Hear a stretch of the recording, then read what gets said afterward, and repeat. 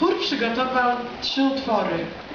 Polonez katyński, Na onej górze i Polskie kwiaty.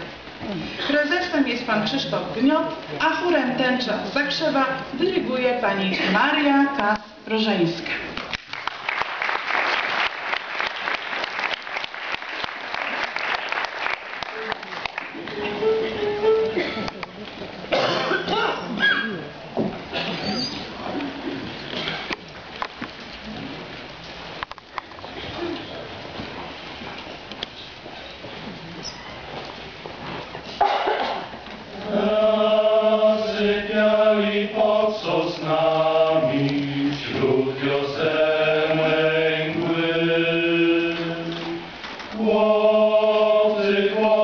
wydarzy sami, a przy.